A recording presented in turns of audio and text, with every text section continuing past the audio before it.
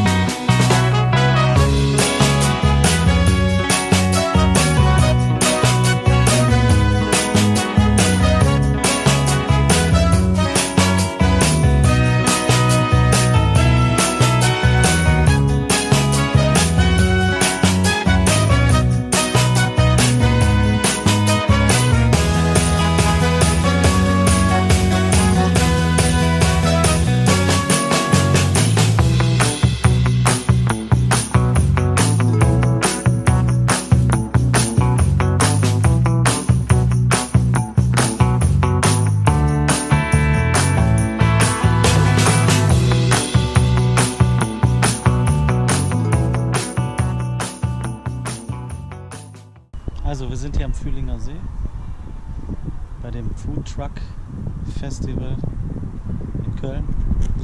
Und es ist nicht so der Bringer, ne?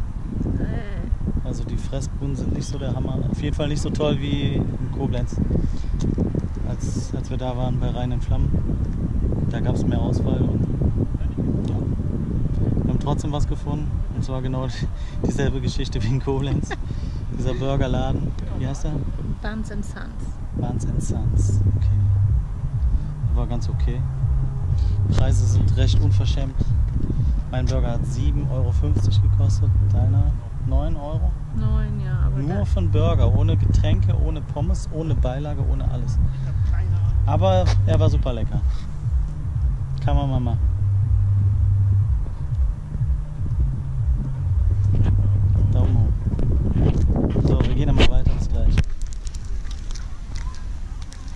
Wir haben jetzt 5 vor 8 und wir hauen jetzt mal langsam ab. Ja, auf jeden Fall. Auf jeden Fall schön, das Wetter war toll. Schön, dass ihr nochmal eingeschaltet habt. Bis zum nächsten Mal. Ciao. Tschüss.